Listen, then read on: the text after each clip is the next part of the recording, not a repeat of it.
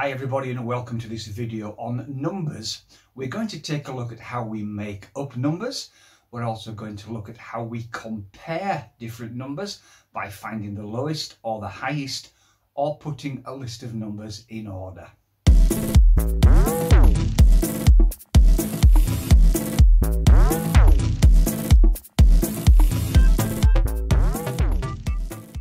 So let's start by having a look at all the numbers that we use.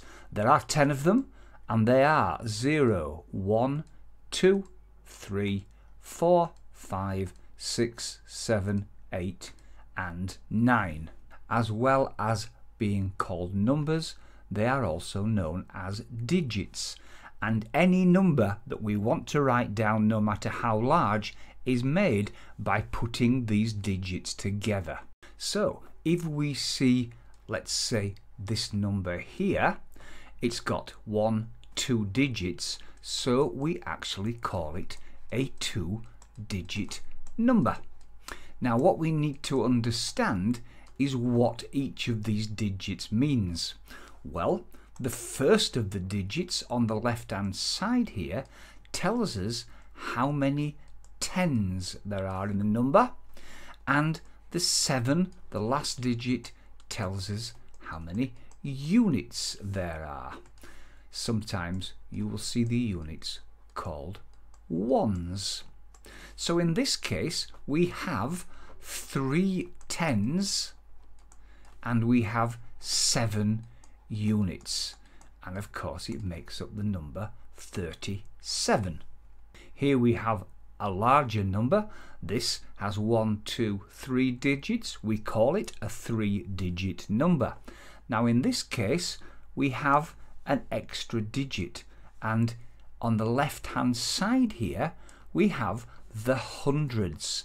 It's in the hundreds column and it tells us how many hundreds there are. Then we follow the same pattern as the two-digit number. This is our tens and on the end we have our units. So in this case we have six hundreds, three tens and five units, 635.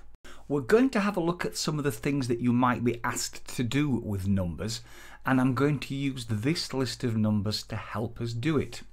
Now the first thing you might be asked is how to find the highest number. So we are looking for the highest, another word for biggest number. So let's have a look at this list. Well, the first thing we can see is that we have some numbers with three digits and some numbers with two digits. So we know that with the three digit number, it has some hundreds. So the three digit numbers must be bigger numbers, higher numbers, than the two digit numbers. So we can take these three. One of these must be the biggest number. The next thing we do is we take a look at the number in the highest column, in this case in the hundreds column, and we find we have a 1, a 2 and a 3. Now because 3 is the biggest number in the first column, then the highest number of all these must be 305. We might also be asked to do exactly the opposite and find the lowest number, in other words, the smallest one. And we do just the opposite to that we've just done. We look at the list of numbers and we say, okay, the ones with the two digits are smaller than the numbers with three digits. So in this case, we're going to have a look at the 53, the 26 and the 18. Now don't forget we're looking for the lowest number here. So we look at the numbers in the tens column, the first column. We have a 5, we have a 2 and we have a 1. Out of those, 1 is the smallest number. Therefore, the lowest number in the list is 18. Now I'm going back to looking for the highest number again. Only this time I've changed one of the numbers. just to show you what might happen. So, looking for the highest number, just as we did before, we are going to look at the numbers that have the three digits in there because we know they are larger than the two digit. So let's write those numbers down. 167, 325, 305. Now if you remember, I said we look at the numbers in the first column, in the hundreds column. Now this time we have a 1, a 3 and a 3. So we have a slight problem in that these two numbers both start with a 3. They are bigger than the 1, so we don't need to worry about that number. We need to know which of these two is biggest.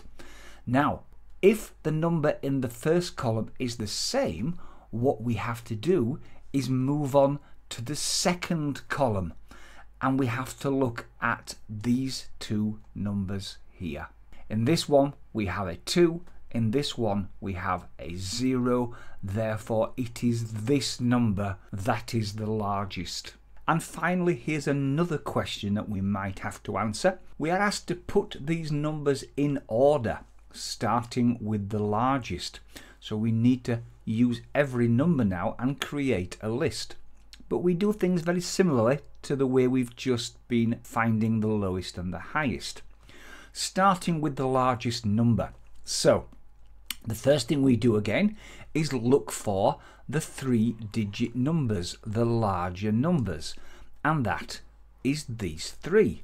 So we have 167, 225, you remember we did this earlier, and 305. We looked at the numbers in the first column.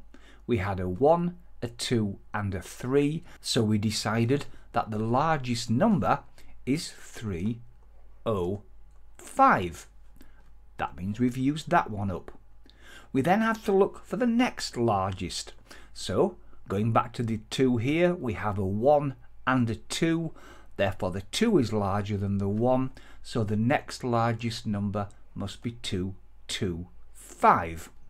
The only other three digit number that we have left is 167, so that must be our third highest number. We then go back to our original list and we find we have some two digit numbers. We have 53, we have 26 and we have 18. We follow exactly the same rule as we just have done. We have a 5, a 2 and a 1 in the first columns. The 5 is the biggest, so the next number on our list must be 53. Look at the remaining two. We have a 2 and a 1. The 2 is largest, therefore 26 must be our next. The only two digit number we have left is 18, so that goes next. That has covered that one, that one, and that one. The only number we have left is a single digit number here at the bottom. That is the number 7, so that must go on the bottom. So that is all our numbers in order, starting with the largest.